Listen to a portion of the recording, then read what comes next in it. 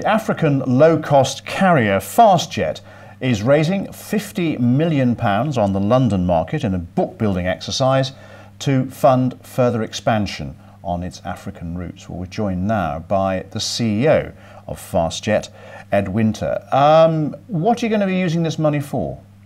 Well, the money's there to fulfill our expansion plans.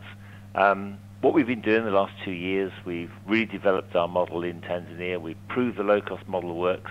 We've really taken people off the roads. We've got um, massive expansion on, on the routes for people flying with us. We've shown we can operate reliably. We've had over 90% punctuality so far. We hardly ever cancel a flight. So against African infrastructure, we can operate reliably. And in December, we turned our first monthly profit. So I think we've got to the point now we've really proved the model works. We've laid the foundations. And now's the time to take that forward. And it, so that's what this fundraiser is all about. I mean, some people might say, well, you, you know, you, you, are turning the corner, you, are getting, getting a profit coming through, good sets of figures, but is it perhaps a bit too early? Shouldn't you perhaps wait a bit to see if that momentum continues? Well, I don't think so. I think we've spent the last two years, uh, in fact, 27 months now since we started, um, really developing the model, really proving we can do things. And we've got a team now that have figured their way through the regulatory maze, figured out how to make this work, and we've got the first mover advantage. I think we're there ready to, to take advantage of the market that's out for us. And the market we've chosen, um, we've chosen six countries, including Tanzania, so Kenya, Uganda, Zambia, Zimbabwe, and South Africa. Um, between them, representing about 20% of the total African population, a bit over that in terms of total African GDP um, countries that all got a common heritage. They've had quite a lot of trade between them, migration between them over the years. So, you know, reasons for trade, existing trade patterns, and we see that as an opportunity to step into that market and develop develop our model through those six countries.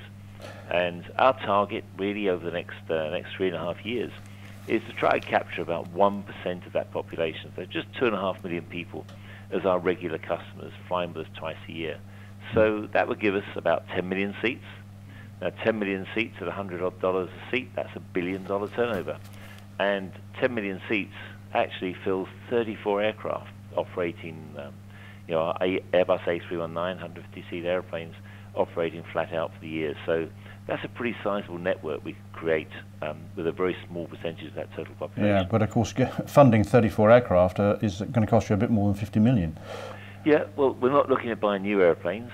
we're um, planning during that period of time that by the time we finish, about a third of our aircraft will be operating leases.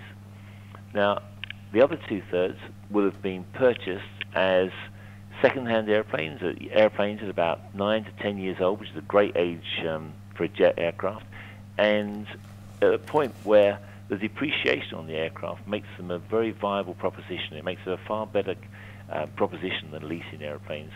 And so that cash enables us to commence our expansion and using the cash that's generated from the business plus that extra cash to actually start bringing that fleet in place.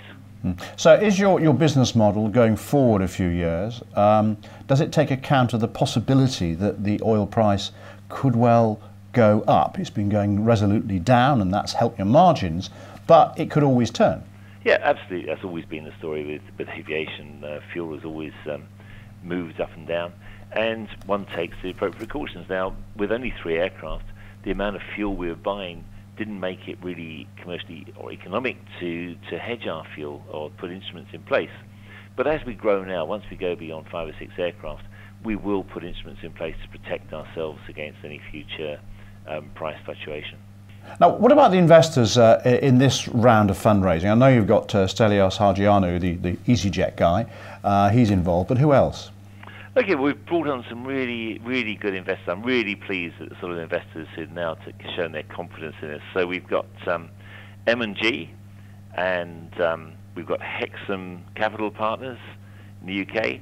In um, South Africa, we've got Old Mutual, and um, in the UK, we've also got J Hambro come on board. So really real confidence from, from investors of that quality.